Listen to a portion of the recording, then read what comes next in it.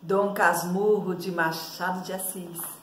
Capítulo 82 O Canapé Deles.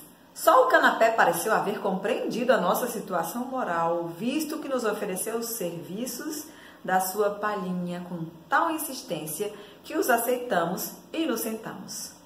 Data daí a opinião particular que tenho do canapé.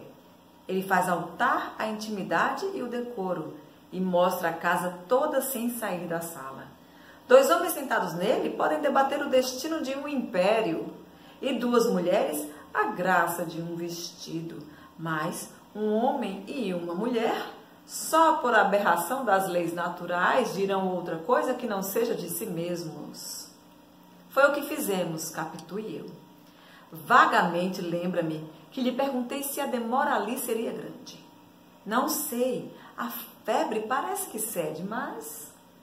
Também me lembra vagamente que lhe expliquei a minha visita à Rua dos Inválidos com a pura verdade, isto é, a conselho de minha mãe. Conselho dela, murmurou Capitu, e acrescentou com os olhos que brilhavam extraordinariamente. Seremos felizes. Repeti essas palavras com os simples dedos, apertando-os dela. O canapé, quer visse ou não, continuou a prestar os seus serviços às nossas mãos presas e às nossas cabeças juntas ou quase juntas.